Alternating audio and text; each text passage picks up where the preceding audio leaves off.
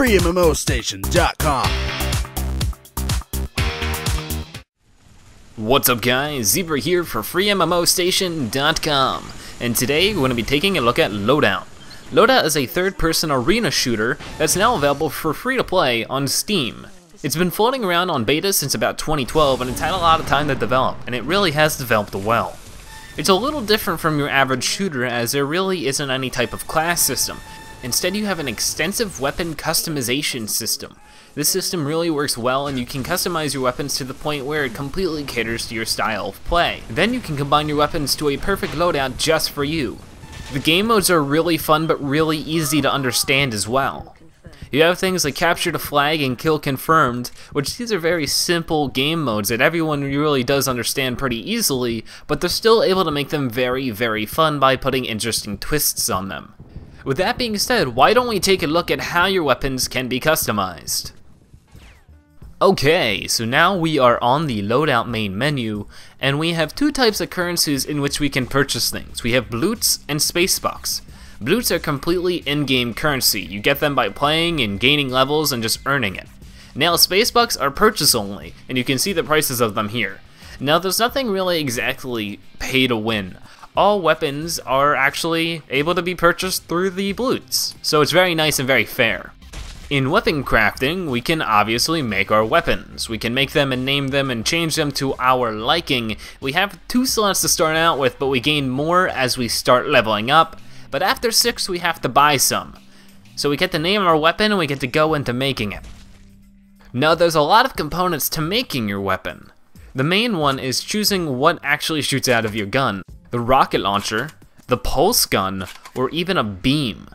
They all have different little things about them, like the rifle shoots out actual bullets, while the beam is sort of like a laser that goes out for infinite distance.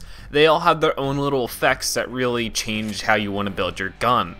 Now there's a lot of really tiny things you can change about the gun as well. Stuff like your stock, or maybe your scope, maybe you want more of a, like an iron sight, or maybe you just want some type of different barrel if you don't want like, like a one-shot sniper rifle, or a semi-automatic something like that. You have your trigger, you also have your magazine. All of the things you change will affect certain stats, but you know, make other stats worse, so it's all about changing the direction to your gun. You also have payload, which can change sort of the element that shoots out of your gun. Maybe your gun will have an electrifying shock to it, or maybe some fire effects. And then dynamics can change how they get, you know, shoot out of your gun. Either be a corkscrew effect or a bouncing effect. There's tons of different things you can change. Now that we've designed our ideal weapons, we get to go to the loadout. Now the loadout we can choose two weapons and a special effect basically. The two weapons you want to make something that has really good synergy. Now you have three slots of loadouts available to you before you have to buy more. I personally use a long range weapon followed by a short range weapon to sort of scare them off and then shoot them when they're running away. You also can choose different effects. You can choose grenades or even have a turret, but you can also have different effects like a shield or maybe have a disguise. There's a lot of different things in here and it's really cool to see what you might be able to change and suit to your playstyle. You can also choose what character you play as, as we'll get into in a little bit later but you can choose custom characters that you've made. In the outfitter, we can make whatever person in any costume that we want.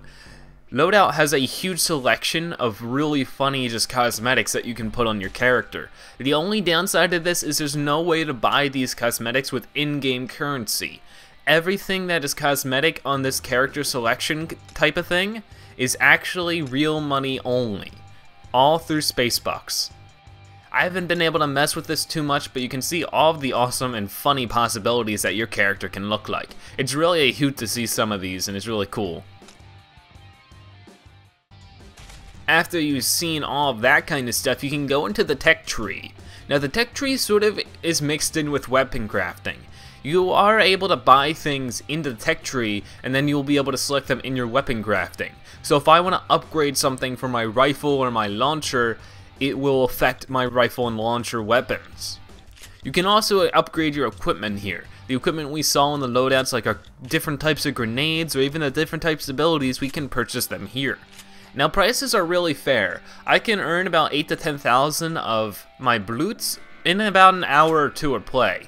There's nothing that really seems like I have to sit here playing all day for one tiny thing. And that's really how you design your weapons in Loadout. They give you a lot of freedom and it's really awesome how it's all designed. I've been really consumed by this game within the last few days because of just how much fun I've been having, and I'm really deeply invested in games like Team Fortress 2. So it sort of shows that kind of comparison and what you may be interested in if you try this game. Thank you guys so much for watching, this is Zebra, and I'll see you guys later.